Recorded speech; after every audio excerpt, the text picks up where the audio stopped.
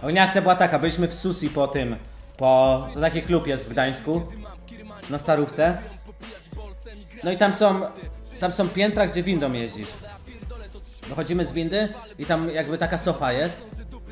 Laska tak, wychodzimy, bo tam w grupie byliśmy. Laska na mnie patrzy i śpiewa Nitro, Zyniak, Boss. Empa, Kieta, kurwa, co? I, I leci dalej ogólnie te zwrotki. Tak, kurwa, wszyscy się na mnie z politowaniem patrzą. I chuj. I potem, potem, my, bo tam jest sala powiedzmy na jednym piętrze, na drugim. Tak przechodziliśmy i potem znowu ją zauważyłem i zrobiła to samo. I tak wsadziłem rękę do kieszeni i 20 groszy. i rzuciłem w nią dwoma czy trzema stówami. Właśnie nie rozumiem, po chuj w nią rzucałeś pieniędzy. To było takie było... Bo z moją dziwką, stary. Innymi słowy, jeżeli chcecie zarobić, to wyzywajcie Sergiusza w miejscu publicznym, on chętnie za to zapłaci.